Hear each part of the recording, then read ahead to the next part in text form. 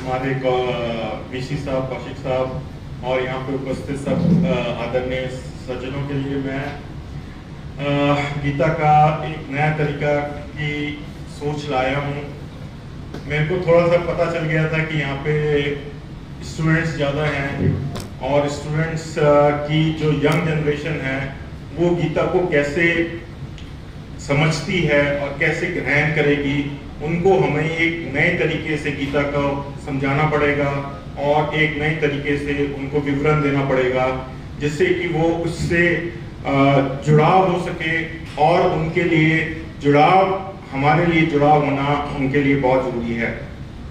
तो मैं ये कहना चाहता हूँ, गीता का जो जन्म हुआ, वो बहुत ही एक ऐसे परिस्थितियों में हुआ, जहाँ पे अज्ञान बहुत ज़्यादा था अ, अनिश्चितताएँ बहुत ज़्यादा थी और अधर्म बहुत ज़्यादा था और वो था महाभारत का मैदान अर्जुन अगर मेरा एक क्वेश्चन है अगर अर्जुन को डर नहीं लगता तो क्या गीता का जन्म होता? मेरी हिंदी बहुत कमज़ोर है मेरी संस्कृत बहुत ही ज़्यादा कमज़ोर है मेरी इंग्लिश थोड़ी अच्छी है तो मेरा, मैं I will be talking in between Hindi and English तो मेरा एक बहुत बेसिक क्वेश्चन है बच्चों से कि अर्जुन को अगर डर नहीं लगता उन परिस्थितियों में तो क्या गीता का जन्म होता?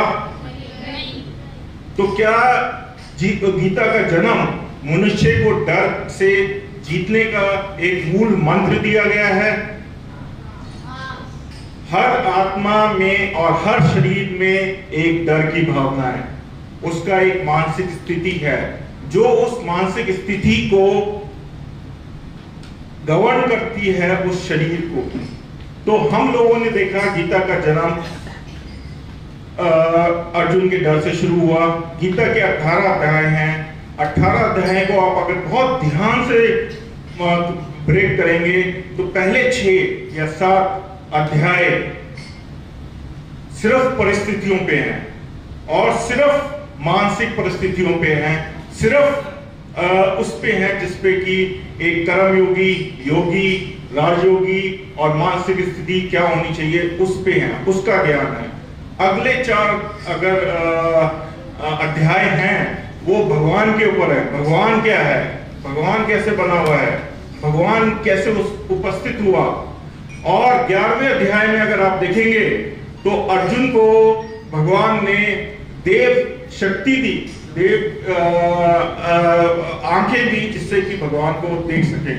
ग्यारहवें अध्याय में भगवान की उत्पत्ति होती है, अर्जुन को पूरा दिव्य रूप देखने को मिलता है।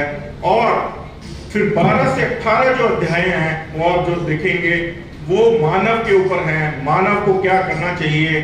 मानव को कैसे अपने को इतना कठिन स्थितियों, जो कहते हैं गीता का सारा सार और सारा गीता में सब कुछ लिखा हुआ है कि हम अपनी परिस्थितियों से कैसे उभर सकते हैं, उसका बहुत साफ़ सुथरा बारह से अठारह अध्याय में लिखा हुआ है। उसमें सिर्फ़ और सिर्फ़ अगर हम निचोड़ निकालें तो उसका निचोड़ ये है कि आप जब गीता पढ़ते हैं, आपके अंदर इतनी मजबूती आती है, आपके अंदर इतनी हिम्मत आती है, आपके अंदर इतनी ज्ञान आता है कि आपको अपनी कमजोरियाँ और अपनी परेशानियाँ, अपनी कोई भी प्रॉब्लम्स बहुत छोटी लगने लग जाती हैं। आप ज्ञान से बढ़ जाते हैं, आपका साहस बढ़ जाता है, आपके अंदर निष्ठा बढ़ जाती है, आपके अंदर की लड़ने की शक्ति बढ़ जाती है और वो शक्ति आपको हर क्वेश्चन का जवाब देती है, हर प्रॉब्लम का सवाल का आंसर देती है that is why Gita is called the answer of all the problems of all the human beings Gita के पास सब आंसर हैं. हमारी परिस्थितियाँ, हमारा दिनचर्या, ये नहीं है कि डे टू डे वन हमारी आज की परिस्थिति में कोई प्रॉब्लम हो सकती है, कल की परिस्थिति में और कोई प्रॉब्लम हो सकती है. लेकिन उसका आंसर सिर्फ़ गीता में है, और गीता में हमारे को क्या दिया गया है? ज्ञान, अर्थ, और हिम्मत दी गई है कि आप कर्म करें, कर्म से आगे बढ़ें, और कर्म की वजह से आपको जो फल की प्राप्ति होगी, उस फल में कहीं ना कहीं लिखा होगा कि आपकी प्रॉब्लम्स खत्म होंगी।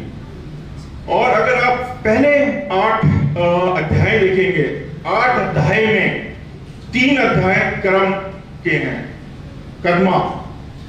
आप मुझे बता सकते हैं कि सबसे बड़ा पांडव आई मीन बड़े भाई, धर्म गुरु, धर्म के मास्टर, धर्म के विज्ञाता, विद्वान, युधिष्ठर। तो भगवान ने युधिष्ठर को क्यों नहीं ज्ञान दिया? भगवान ने युधिष्ठर को क्यों नहीं गीता का सुनाया? भगवान ने गीता को युधिष्ठर को क्यों नहीं बताया, जबकि वो धर्म की बात बता रहे थे, धर्म के बारे में बता रहे थे, और धर्म की लड़ाई लड़ रहे थे, और उन्होंने कहा, ये अधर्म हो रहा है, मैं धर्म की लड़ाई लड़ रहा हूँ, मैं धर्म की तरफ़ से खड़ा हूँ, और मैं जो सारथी हूँ, मैं लड़ाई नहीं करूँगा, लेकिन मैं धर्म का साथ दूँगा, मैं वहाँ मैदान में खड़ा रहूँगा, जहाँ धर्म का साथ देना है मुझे। लेकिन सबसे बड़ा धर्म वीर युधिष्ठर था।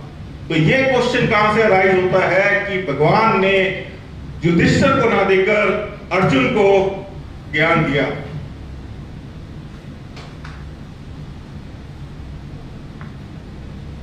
नहीं पढ़ी। मेरे को हिंदी पढ़ने में भी थोड़ा कष्ट होता है और मेरे को बड़ी मुश्किल लगती है, इसलिए मैंने नहीं पढ़ी। मैंने जो गीता का विचार है, वो एक ट्रक के पीछे से पड़ा हुआ है। और वो एज होगी मेरी बारह बारह साल का होगा या चौदह, पंद्रह साल का होगा कर्म ही धर्म है। एक ट्रक के पीछे लिखा हुआ था, कर्म ही धर्म है। और वो सेंटेंस मेरी ज़िंदगी के और मेरे मस्तिष्क में घर कर गया है।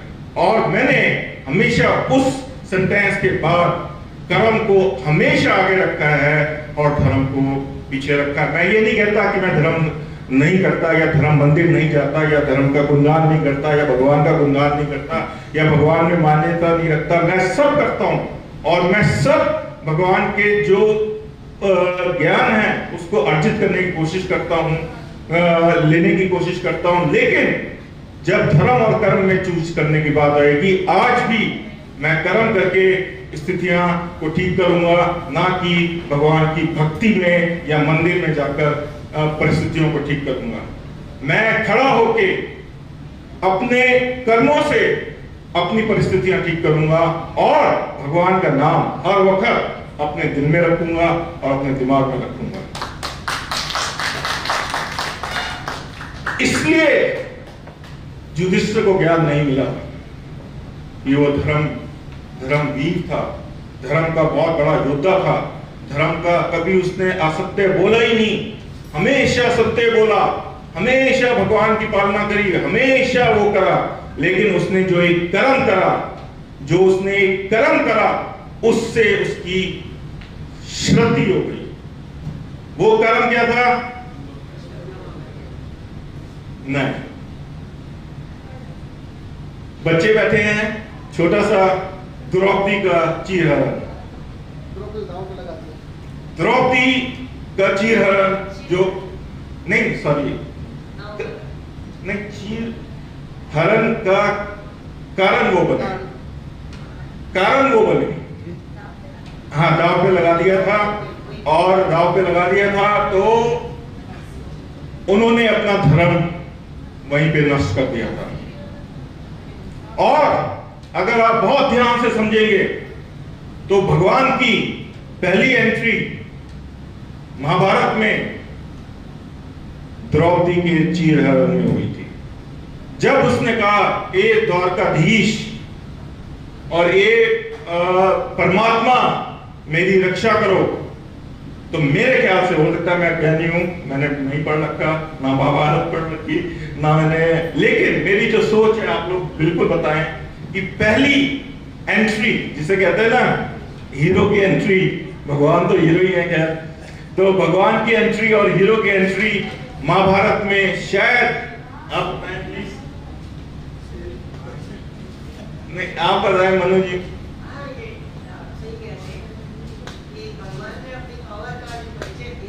हाँ, है सबसे पहले सबसे पहले भगवान को द्वारकाधीश जाना जाता था। और द्वारकाधीश से माना जाता था। लेकिन महाभारत में उनकी एंट्री एक द्रौपदी के चीरहरण में हुई और द्रौपदी का उन्होंने जो बचाव करा, उसकी वजह से उनकी मान्यता और धर्म की रक्षा हुई और धर्म का रक्षा होना बहुत बड़ी बात थी। और आपको मैं बताना चाहूँगा, कृष्ण जी का जन्म क्यों हुआ? क्योंकि गीता में एक बहुत बड़ा अध्याय है और बहुत बड़े, मेरे ख्याल से 700 में से दो चार श्लोक तो ज़रूर होंगे कि आपके जीवन का अर्थ क्या है। आप पैदा हुए हैं तो किस लिए हुए हैं? आपने ये जीवन की जो योनि ली है, या जो योनि मिली है, वो क्यों मिली है? उसका अर्थ जानना बहुत बड़ा ज़रूरी है। और उस अर्थ से ही गीता का समझ और गीता की सही समझ आपके पास आएगी। कृष्ण भगवान का जन्म का अर्थ क्या था?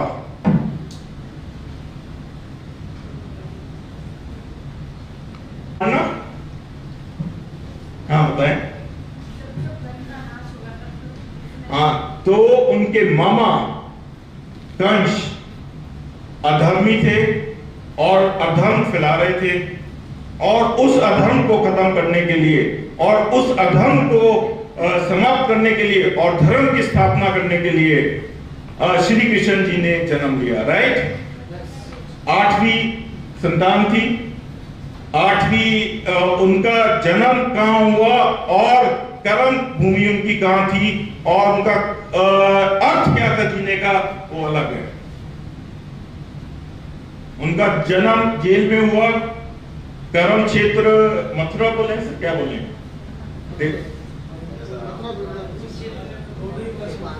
गो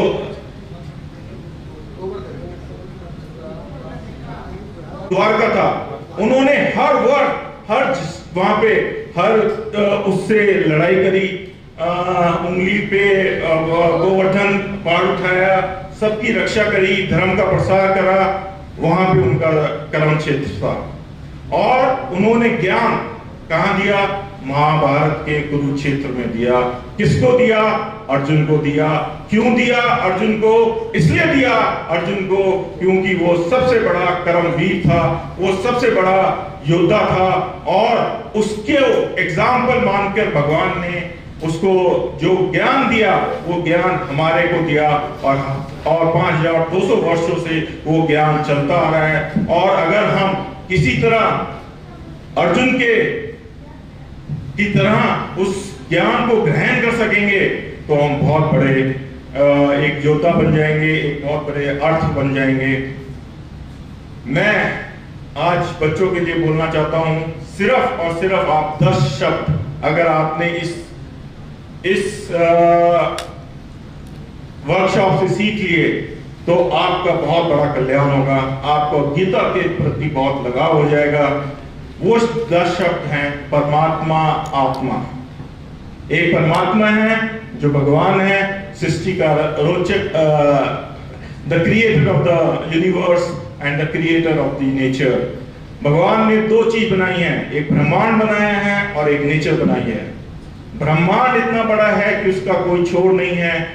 एंड मैं तो ये कहता हूँ time may be time is eternal the God is eternal hence God is time time is God A equals to B, B equals to C. It is a simple formula. Time is eternal. Time का कोई छोड़ नहीं है, कोई पता पता नहीं है, और भगवान का कुछ पता नहीं है इस दौर से उस दौर तक ब्रह्मांड इतना बड़ा है कि हमें पता ही नहीं कितना बड़ा है तो परमात्मा जिसका की आत्मा हर S O U L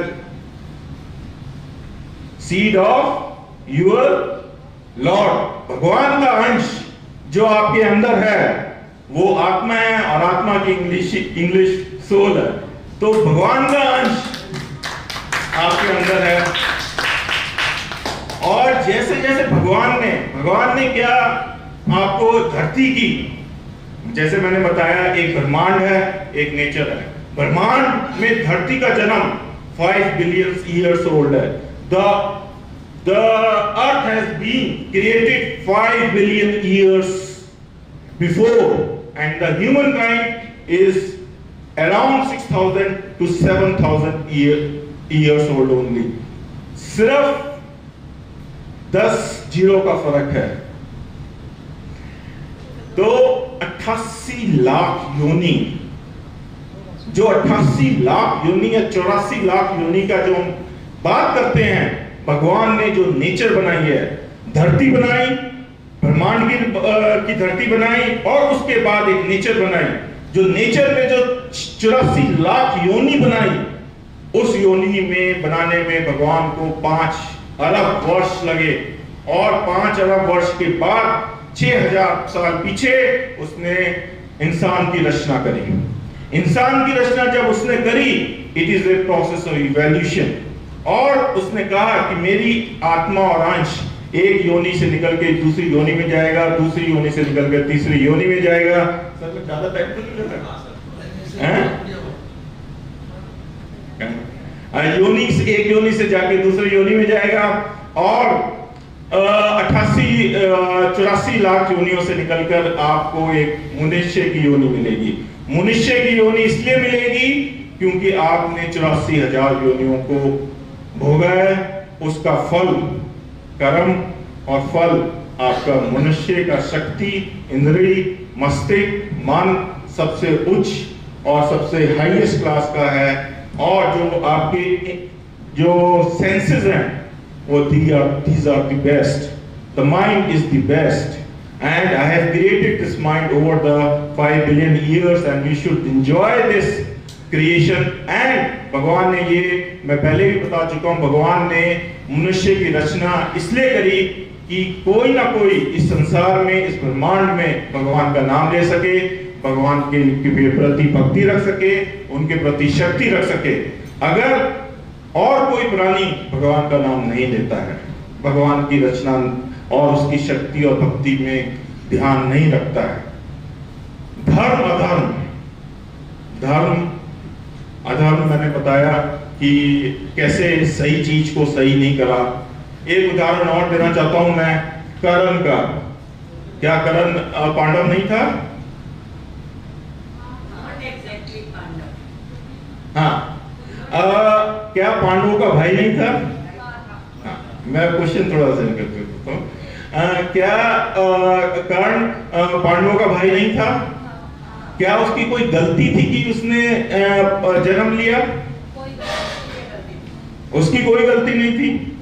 और उसका जैसा दानी उसके जैसा योद्धा उसके जैसा आदमी पूरी गीता में भगवान से श्री कृष्ण भगवान से नीचे कोई नहीं है। अगर मेरा वो तो मैं कृष्ण जी को सबसे ऊपर, भगवान कृष्ण जी को ऊपर, उसके बाद भगवान कर्ण को। क्योंकि अगर कर्ण को, भगवान को जाकर कर्ण से मांगना पड़ा।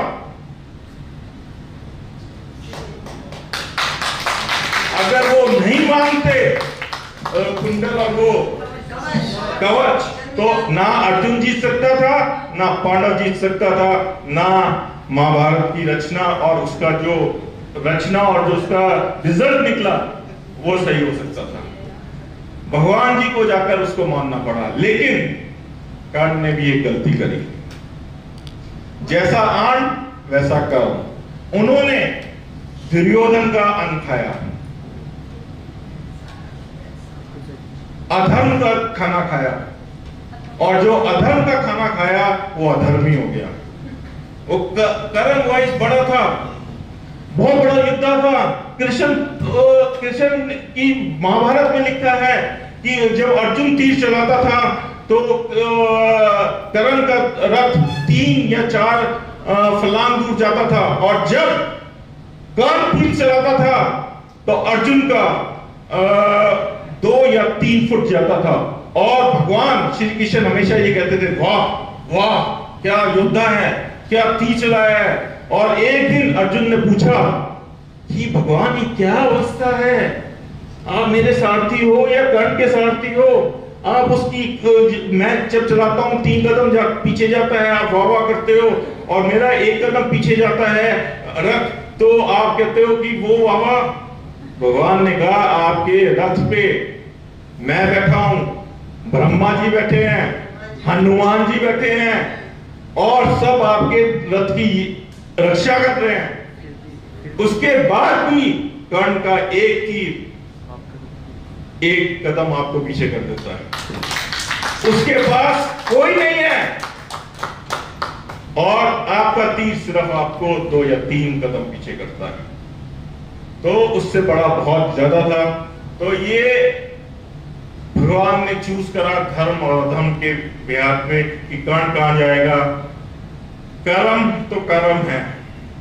और सबसे पहले हम एक और बात करते हैं what is the difference between the death and moksha या मूर्ति मृत्यु। मृत्यु। मृत्यु और मोक्ष में क्या फ़र्क है? हाँ प्लीज़ यस भगवान ने जो अपना सीट जो अंदर से सीट निकाल कर आपको दिया है वो भगवान से जुड़ जाना मोक्ष की प्राप्ति है। अब आप मोक्ष क्या है? अब कोई मुझे बताएगा मोक्ष क्या है? आवागमन से मुक्ति? हैं? आवागमन से मुक्ति। नहीं हो सकता है आपका आंसर ठीक हो क्योंकि मेरी सोच मेरी सोच है आपकी सोच आपकी सोच है। मोक्ष क्या है? मोक्ष। मोक्ष आदमी का भगवान बन जाना। आत्मा भगवान बन गए ना। आत्मा का परमात्मा में लीन हो जाना तो भगवान बन गए ना। तो आप आदमी से मनुष्य मनुष्य हम और मोक्ष की इसलिए बात करते रहते हैं क्योंकि हमें भगवान बनना है। हमें भगवान बनना है, हमें भगवान में विलीन होना है, हमें भगवान में लीन होना है, हमें भगवान जिसने हमारे को जन्म दिया है, हमारे को उसी में बनना है और सर्कल को पूरा करना है और उस नियति को करना है। और साइंस क्या कहती है?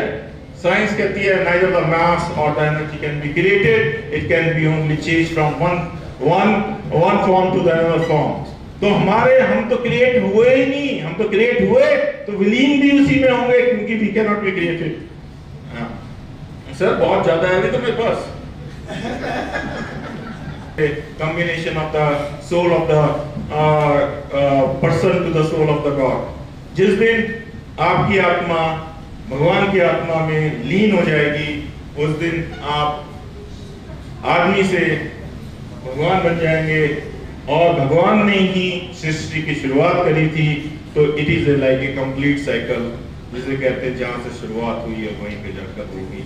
जब ही आपको मोक्ष मिलेगा, जब ही आपको आराम मिलेगा, और जितने भी आपने कष्ट पाए हैं, जितने भी इस योनियों में कष्ट पाए हैं, उन योनियों से आपको आराम मिलेगा। किया है। बहुत ही ज़्यादा नॉलेजेबल इंसान है ये। और बहुत ही गजब का काम कर रहे हैं।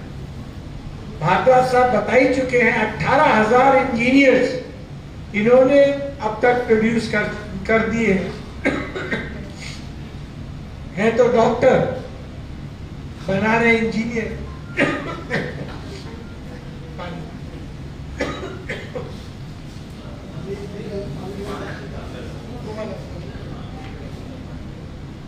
उन्होंने ये संकल्प किया है कि 200 बच्चों को 201 सॉरी बच्चे या बच्चियाँ? सिर्फ़ सिर्फ़ छात्राएँ। सिर्फ़ गर्ल स्टूडेंट्स उनको वो इंजीनियरिंग कॉलेज इंजीनियरिंग की पढ़ाई मुफ़्त कराएँगे। अच्छा। तो ये सारे कोर्सेज फ्री कराएँगे। चारों साल के लिए। और उसका क्राइटेरिया क्या रहेगा? मेरिट एंड इकोनॉमिकल कंडीशन गजब का भाव है इनका। एक छोटी सी चीज़ और मैं कहूँगा उसके बाद कौशिक साहब बोलेंगे। भागवत साहब की तो आप लोगों ने गीता पे डिस्कवरी देखी। कि गजब गजब की चीज़ें इन्होंने छाट के छाट के लाए इन्होंने जब मुझे एक बार कहा कि गीता से मनुष्य को धन की भी प्राप्ति होती है। तो मैं चक्कर में पड़ गया, मैंने कहा, ऐसा गीता में कहा कहा है? मुझे तो कहीं दिखता नहीं है। तब फिर इन्होंने कहा, नहीं साहब अठारवे अध्याय के आखिरी श्लोक में कहा तब मुझे समझ में आया, यत्र योगेश्वर कृष्णो, यत्र पार्थो धनुर्धरा तत्र श्री विजयो भूतिर, ध्रुवा नीतिर मतिर अब इस श्लोक में ये कहा है कि जहाँ भगवान श्री कृष्ण है, जहाँ अर्जुन है, वहाँ श्री है। श्री का मतलब मैं देखिए श्लोक को पहले ज़्यादा गए, कभी मैंने इस तरह विचार नहीं किया कि ये क्यों कहा। सब मैंने सोचा, ठीक है, नीति उसी तरफ़। परंतु यहाँ पर ये बात कह गए हैं संजय, कि वही श्री है। श्री का मतलब ऐश्वर्य, धन, संपत्ति, शोभा। तो पर इसमें एक गुण बात और है, कि श्री कृष्ण कहा नहीं है? कण कण में मौजूद है। तो क्या हर जगह श्री और हर जगह श्री है? धन, संपत्ति, ऐश्वर्य है? वहाँ पे छोटी सी, छोटा सा राइडर और लगा दिया। जहाँ श्री कृष्ण है और जहाँ अर्जुन अर्जुन नहीं, हर जगह है। अर्जुन बन जाए हम। अर्जुन बन गए। श्री आएगी ही आएगी